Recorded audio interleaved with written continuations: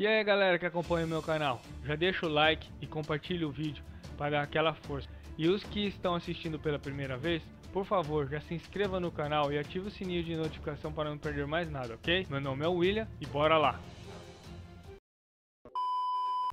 O primeiro-ministro de Israel, Benjamin, ao lado de Jair Bolsonaro, presidente do Brasil, convidou Neymar e o surfista Gabriel Medina para uma visita ao país do Oriente Médio. Os dois atletas responderam ao convite em vídeo divulgado nas redes sociais do governante brasileiro.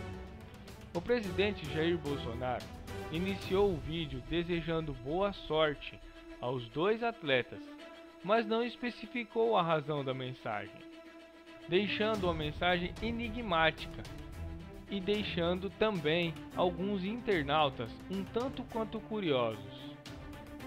Olá Neymar, alô Medina, diretamente de Israel, aquele abraço e boa sorte para vocês. Um prazer nosso. Logo depois, Benjamin completou com um convite ao atacante e ao surfista, dizendo: Por favor, venham a Israel.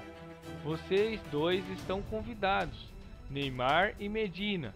Tragam todo mundo com vocês.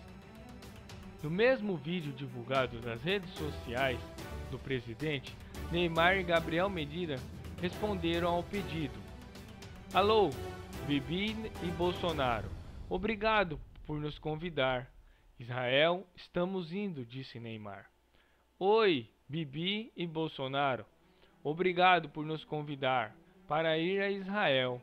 Israel, estamos indo. Muito obrigado, completou Medina. Nos comentários, teve uma tempestade de críticas, chamando Neymar e Medina de bolsominions, Chernobyl e Nagasaki, e uma internauta dizendo até que está cada vez mais fã de Marquezine.